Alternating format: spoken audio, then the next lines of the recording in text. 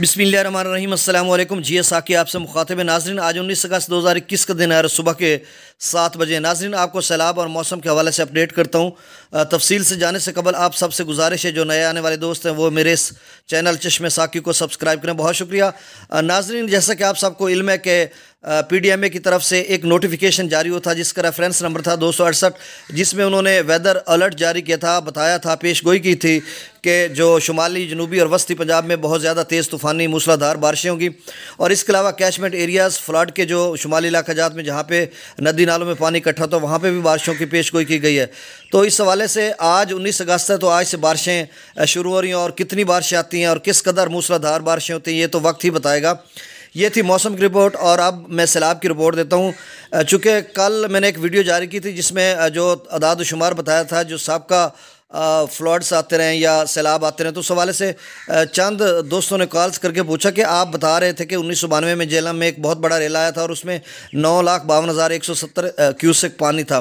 تو ناظرین، ایسا ہی تھا چونکہ میں نے یہ ریکارڈ لیا ہے گوگل سے لیا ہے اور P D P D F میں یہ ریکارڈ موجود ہے تمام دریاؤں کا۔ اور آپ بھی اگر آپ میں سے کوئی دوست لینا چاہے تو وہاں جا کر سرچ کریں اور وہاں سے یہ ریکارڈ مل سکتا ہے۔ تو انیس سو بانوے میں پانچ روز، شب و روز تیز طوفانی بارشیں ہوئیں، جس کی وجہ سے یہ حالات پیدا ہو گئے۔ کیونکہ دریا نیلم اور دریا کنہار جو ہیں، وہ یہ دریا جیلم میں ہی ملتے ہیں اور منگلہ ڈیم پہ اکٹھے ہوتے ہیں سارے۔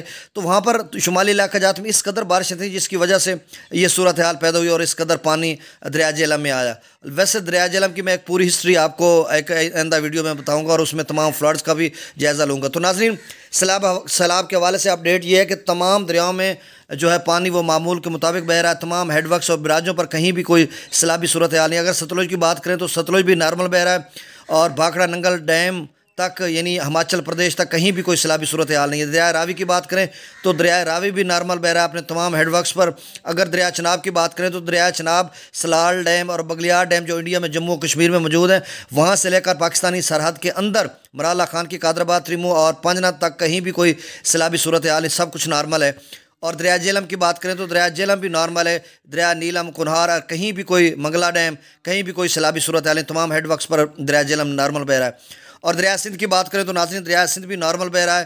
تمام جو تربیلا ڈیم تقریباً بھر چکا ہے اور باقی جو ہیڈ ورکس ہیں، تمام تربیلا کالا باغ چشمہ توسا گڈو، سکھر اور کوٹری، یہ تمام ہیڈ ورکس پر نارمل ہے۔ کہیں بھی کوئی سیلابی صورت حال نہیں۔ ہاں موسم کی وجہ سے موسم کی وجہ سے بہت زیادہ پیش گوئی کی گئی تیز طوفانی بارشوں کی دار بارشوں کی تو کچھ کہا نہیں جا سکتا کہ آئندہ دنوں میں کوئی سیلابی صورتحال بن سکتی ہے۔ فی الحال کہیں بھی کوئی سیلابی صورتحال نہیں۔ بہت شکریہ۔